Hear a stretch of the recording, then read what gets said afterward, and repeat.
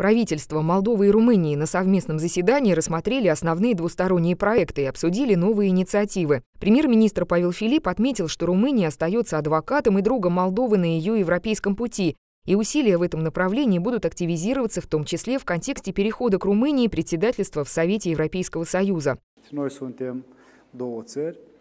Care există în același spațiu мы две страны, которые связывают история, культура, язык, ценности и люди, а также конкретные прагматичные проекты. Румыния является основным торговым партнером нашей страны. В Кишинеу стало настоящим трендом громко высказываться за объединение. Многие партии руководствуются этой целью, однако негромкие заявления обеспечивают нам это сближение, а конкретные проекты. Мы хотим интегрированную совместную инфраструктуру, хотим, чтобы это сближение, это объединение, если хотите, происходило путем взаимоподключения инфраструктуры в разных областях, чтобы мы интегрировали системы транспорта, коммуникации, безопасности, образования и культуры. В свою очередь, Виарика Денчилы подчеркнула, что поддержка Румынии будет продолжаться, и ее страна останется твердым сторонником Республики Молдова. Румыния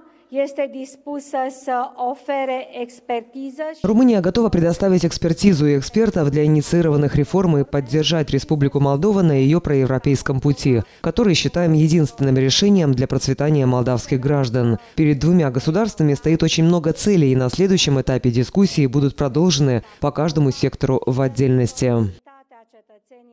Среди приоритетных направлений сотрудничества были также отмечены совместный пограничный контроль, модернизация таможенных бюро, развитие инфраструктуры коммуникаций на границе и сотрудничество в области борьбы с трансграничной преступностью.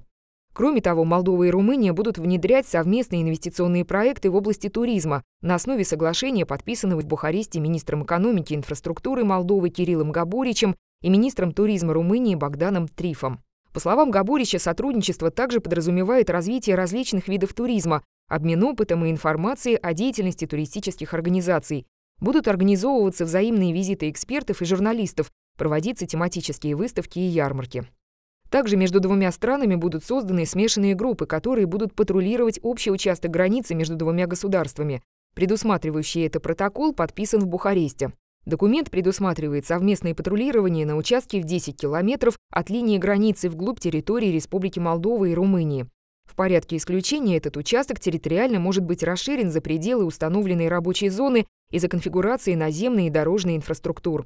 Отметим, что совместное патрулирование границы применяется в большинстве европейских стран, особенно находящихся на внешней границе Европейского Союза, и имеет ряд преимуществ в таких сферах, как борьба с контрабандой, незаконной миграцией и другими незаконными действиями.